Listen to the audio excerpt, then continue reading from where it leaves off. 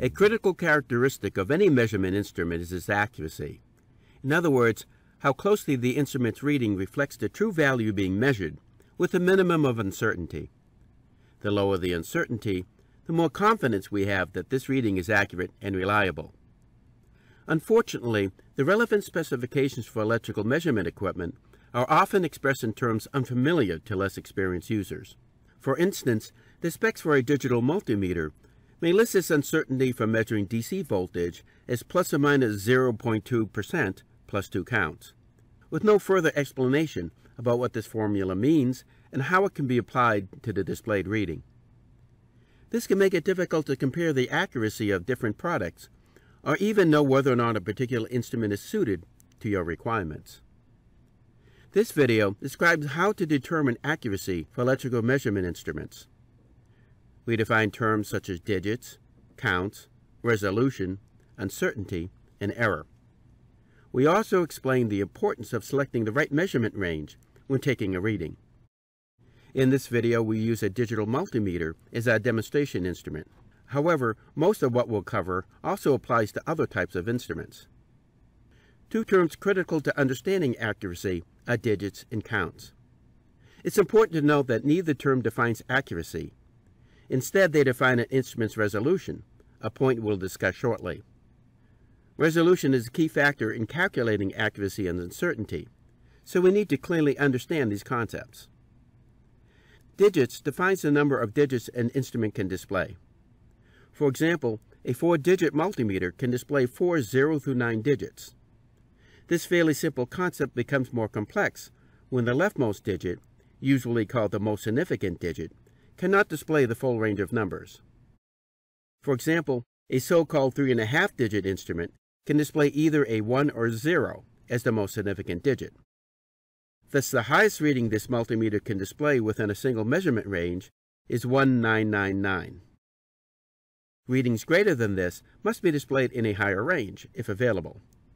For instance, a reading of 20 volts could be displayed as 020.0 volts, with a decimal point shifted one digit to the right. This is further complicated when the most significant digit can be numbers other than 0 or 1. There is no uniformly adopted standard for expressing this as a fraction. For example, a 3 and 3 quarter digit multimeter typically refers to an instrument whose most significant digit can be 0, 1, or 2. But this fraction is also used on occasion for instruments that can display 3, 4, or 5 as the most significant digit. To minimize this confusion, many manufacturers now describe their products in terms of counts rather than digits. Basically, this defines the number of different readings the instrument can display within a measurement range. For example, the 3.5 digit multimeter described earlier is a 2000 count instrument, since it is capable of displaying readings to plus or minus 1999. The value of each count is determined by the reading's rightmost number, called the least significant digit. In the preceding example, for a reading of 19.99 volts, each count equals one hundredth of a volt. For a reading of 20 volts, each count equals one tenth of a volt. Therefore, an instrument's measurement range can significantly impact accuracy, as we'll discover later in this video.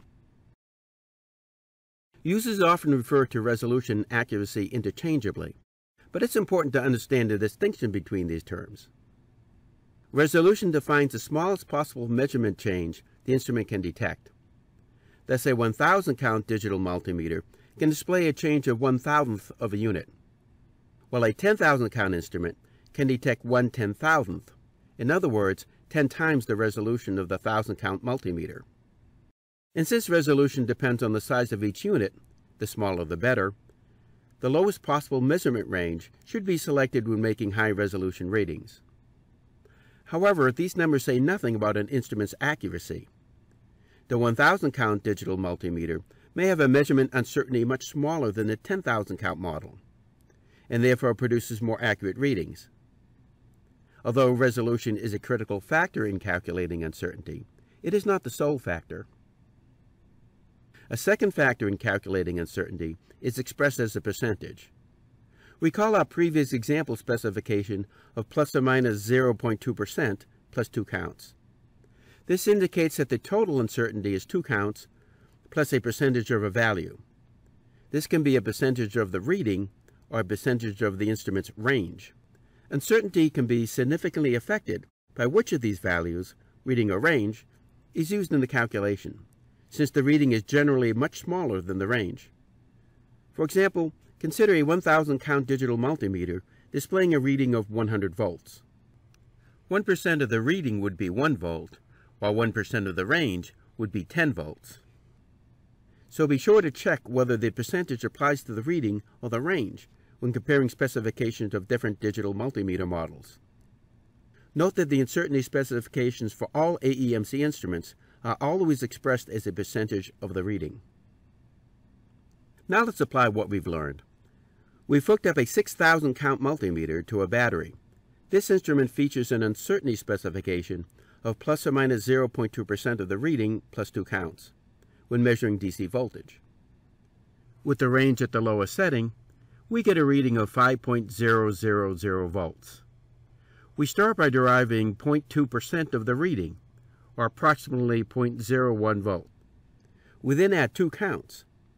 Taking the least significant digit of our reading, we define each count as one thousandth of a volt.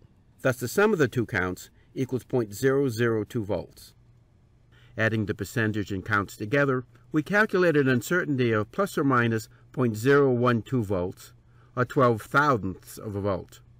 Thus in the example shown on the screen, the actual value falls within the range of 4.988 to 5.012 volts. This calculation highlights the importance of selecting the optimal measurement range. To demonstrate this point, watch what happens as we change the multimeter's range to plus or minus 59.99, 599.9, and finally 5,999 volts. Notice the decimal point moves to the right with each change of range. This indicates an order of magnitude increase in a least significant digit, and as a result, a commensurate increase in the value of one count. At the highest range, the reading is 0005, with one count equal to 1 volt. Applying the formula, the uncertainty in this case would be approximately plus or minus 2 volts producing a measurement range of around 3 to 7 volts, orders of magnitude greater than our original uncertainty. Such a reading would of course have no practical value. AEMC features instruments including multimeters that perform auto-ranging for automatically selecting the most appropriate range for the reading. This also illustrates the advantage of higher count instruments.